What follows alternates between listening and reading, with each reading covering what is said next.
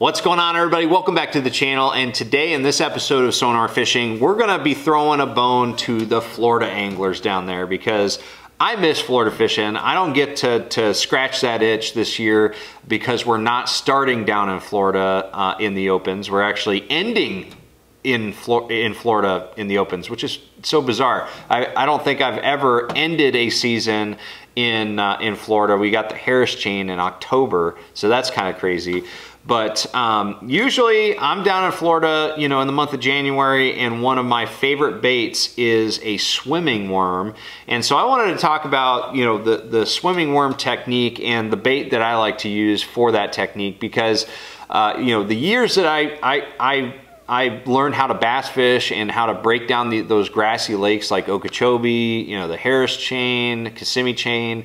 Um, the the swimming worm was the the constant producer. It was always the one that allowed me to cover the most amount of water and find those those sweet spots where those fish are because Florida fishing is way different than a lot of places around the country. Uh, a lot of people get get tripped up in, in Florida fishing because you go down there and everything looks good. There's vegetation everywhere. It's all gorgeous. It looks so bassy and, uh, and you think you'd catch fish everywhere.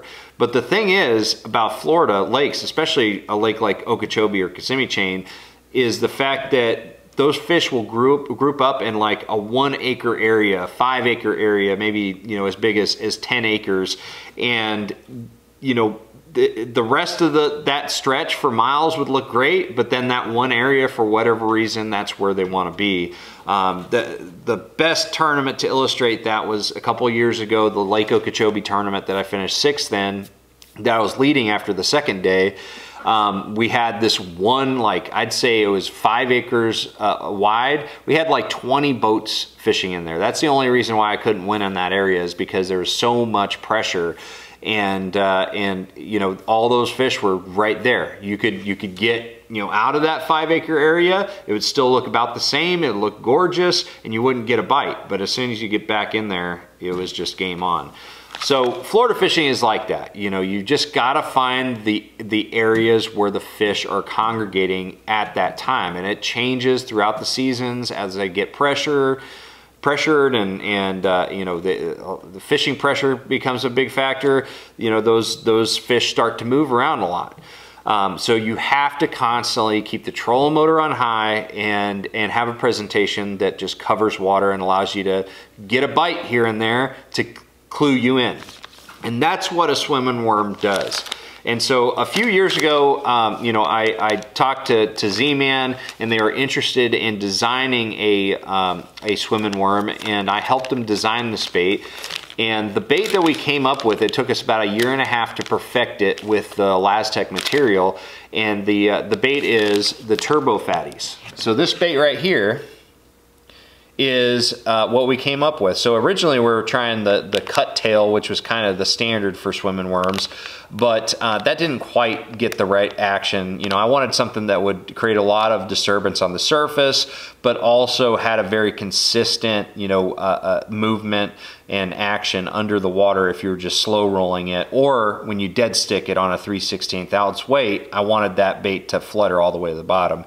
And so we ended up uh, kind of settling on a similar type tail as like the Z-Man Goat series and the, the Goat Toads and uh, it worked perfect. As soon as I, I fished this bait with that, that, um, that tail, I was like, we did it. We got, we got the right tail. And what that tail does is it, it, it will create a huge bubble trail on the surface. It, it, it sounds, you know, uh, it sounds perfect. Um, and uh, and it also has a really good uh, subsurface action. And again, when you're when you you know let it fall into holes in the grass and stuff, it flutters all the way down. So it's it's perfect. But uh, essentially, the way that that I fish these these swimming worms and, and swimming worms uh, similar to it is I'm essentially just making long fan casts with this bait and swimming it back to the boat. It's that easy. It's either you know, I'm, it, when the fish are really active and they're willing to come up to the surface, I may be, you know, ripping it across the surface like a like a, a soft plastic buzz bait type deal, or you know most of the time I'm just subsurface, just right below the surface, just a consistent retrieve, and you're just you're casting it on these large grass flats. So it could be grass flats that have a lot of, of submergent vegetation, but usually when I'm fishing this, you're, you're, you're targeting those, those spawning areas. And the spawning areas have a, a abundance of, of emergent grass. So like Kissimmee grass, uh, you know, pencil reeds, uh, maiden cane, lily pads, spatterdock, uh, all that different stuff. And this bait does really good with that and uh, but it also does really good on on submergent grass spawning flats. So like for instance, you go up to like Lake Griffin uh, on the Kissimmee chain or the Harris chain. Um, if you you're not going to see much emergent grass there's some patches of like you know these little uh, you know uh, little pads and stuff like that but for the most part it's like submergent grass like hydrilla and eelgrass and this bait is really good for, you know, subsurface fishing as well. But I will change my tackle depending on what scenario I'm, I'm presented with. And I will mention at this point that this isn't just a Florida technique. I'm just, because I'm kind of jonesing to go Florida fishing right now and I'm missing, you know, this bite down there, that's what I wanted to talk about. But I've done very well on any grass lake around the country, you know, all the way up to the Mississippi River and La Crosse, Wisconsin, I've caught them on it. Um, so any place where you've got shallow vegetation, the turbo FattyZ and the swimming worm's gonna do really good. But um, the two di real different scenarios that I fish this bait in are, like I just mentioned, the emergent grass up on the real shallow flats and the submergent grass on you know slightly deeper flats. Um, and so I use two different types of tackle for this.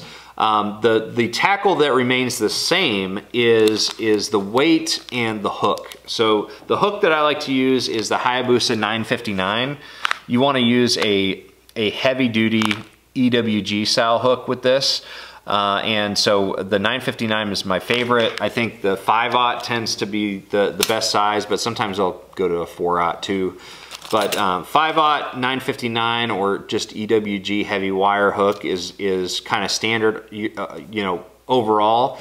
Um, and then also a tungsten weight, you know, you can, it really just depends on the type of cover and, and the, the, the, the depth and how deep you want to fish this bait. You know, if I'm wanting to buzz it on the surface, I might use an eighth ounce weight, you know, something really light.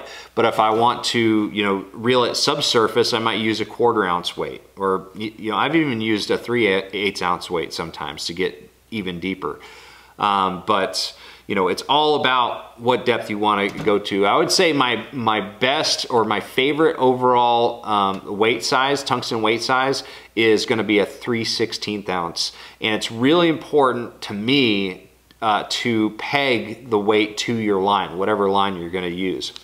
I think pegging it is super important because if I'm, you know, bringing it along and then all of a sudden there's a hole in the grass where those fish are likely spawning, I'll stop and let it fall into that hole. And, uh, you know, it just, having that, that weight pegged helps you get that thing just like a cruise missile, just dive right into that hole. So um, the hook and the weight, pretty standard, but the line is where I'm gonna change. So I forgot to grab some line over here. Let me grab this real quick.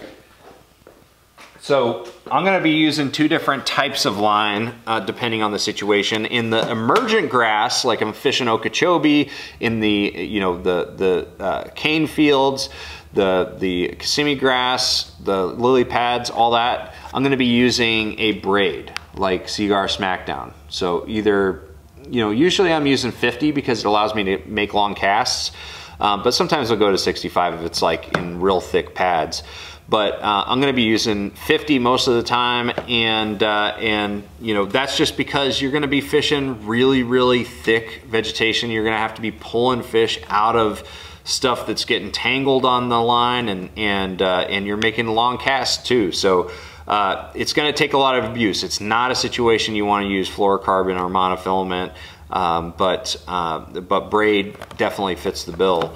So um, braid, and then with that situation, I'm gonna be using a heavier rod. So I like to use what is called the Okeechobee rod from Fitzgerald Fishing. It's essentially a seven and a half foot heavy action flipping stick, but it's called the Okeechobee rod because it's designed for fishing baits in that, that vegetation. And I love that rod for, for you know, just hauling them out with that big braid.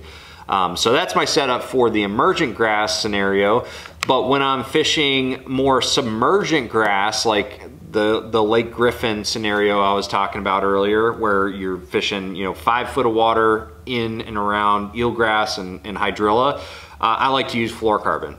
So I'm gonna be using a similar type setup that I would for fishing any type of Texas rig worm. I'm still gonna be pegging the weight, um, but I like to use something like 15 to 20 pound test fluorocarbon. Uh, this right here is Seaguar AbrazX. It's a really good choice for it. Um, you can use a lot of different types of uh, fluorocarbons, but that's the one I like to use because you're in and around cover. And, uh, and so, you know, if I'm trying to get deeper, I'll use 15. And then as I get shallower and thicker cover, I, will go up to, you know, 20 pound tests. But fluorocarbon, I feel like just gets me more bites. And because you're fishing more open water and less like in the thick stuff, you don't have to worry about, you know, having to use braid for that. And as far as the, the reel, rod and reel setup, the reel is actually the same also for, for both of these. I like to use an 8.1 to 1 gear ratio, VLD10 for that. Um, but the rod for the uh, the open water, the or submergent grass is gonna be a 7.3 medium heavy all-purpose series rod. I like that that 7.3 medium heavy, that's like the perfect worming rod. And that's essentially kind of what you're doing when you're fishing, you know, just kind of the submergent grass is just swimming, you're just swimming it as opposed to bouncing it off the bottom. So, um, you know, the 7.3 medium heavy works really good for that. But Anyways, guys, I'm missing Florida fishing so bad right now because I should be down there throwing a turbo FattyZ on those grass flats. I'm really missing that. But this bait right here, I better just take one out of the package. Oh, and we also have to discuss colors. So before I close this out, I want to also talk about colors for you Florida guys. So uh, there's four different colors that you need to have for Florida fishing. Okay, I'm gonna show you all of these real quick.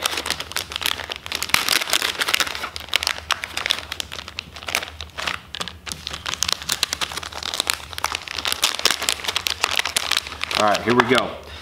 All right, so, I mean, you don't have to have all of these, but these are, these are my absolute favorites. So for the dingiest, darkest water in Florida uh, and the cloudiest days, you know, something like a black and blue is gonna work really good. Black and blue is a favorite. Uh, June bug is actually a good kind of replacement for black and blue sometimes. So a lot of times I'll just carry June bug. Again, real dark tannic stained water, cloudier days, that's when the June bug's gonna play. But if it's a little bit clearer, or maybe you got, you know, clear water, but you've got darker skies, um, you know, that's when I'm gonna be switching to a California Craw color. California Craw is actually one of my absolute favorite Florida colors overall because it plays in both dirtier water and cloudier conditions and also clear water around vegetation as well. So California Craw, if you're gonna just pick one, I would, I would definitely grab one of those. And then the other one is more for the clear water side around the grass, and that is watermelon red. So those are my favorite colors. That is one of my favorite baits of all time.